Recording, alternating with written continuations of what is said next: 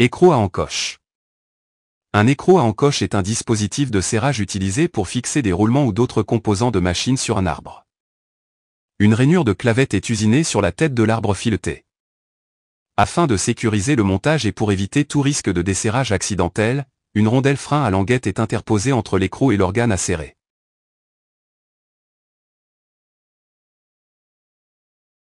Le serrage et le desserrage de l'écrou à encoche se fait à l'aide d'une clé à ergot. À l'aide d'un outil de frappe et un marteau, une languette extérieure de la rondelle est enfoncée à s'engager dans l'encoche aménagée dans l'écrou de serrage. La représentation normalisée du montage est la suivante.